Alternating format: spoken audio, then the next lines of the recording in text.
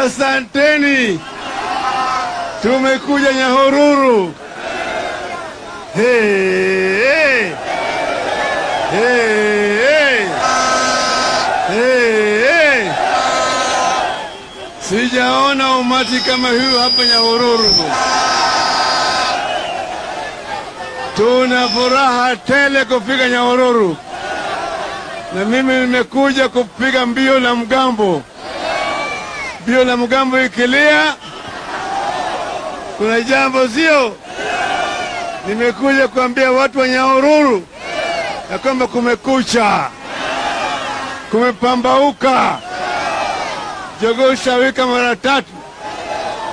Nataka mkeni twende kazi, kazi ya ukombozi wa tatu, ukombozi wa tatu wa Kenya. Ukombozi wa kwanza ilileta uhuru, ukombozi wa pili ilileta katiba mpya, ukombozi wa tatu ni ukombozi wa kiuchumi, ya kiuchumi, ya kuimarisha uchumi ya Kenya.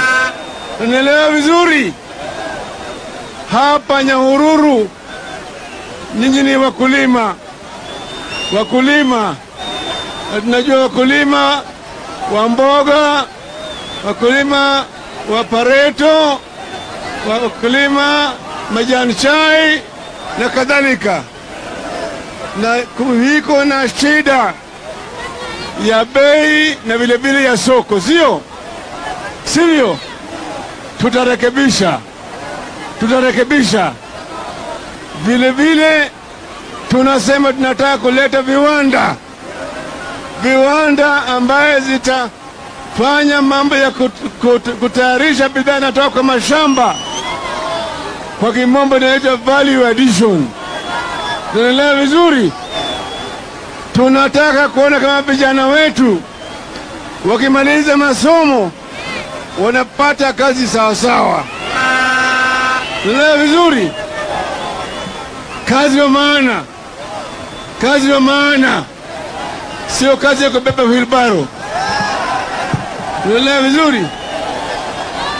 Tunataka kila mtoto kuanzia nasari kuingia primary, secondary mpaka chuo kikuu awewe na nafasi sawa, hata kama wazazi hawana pesa.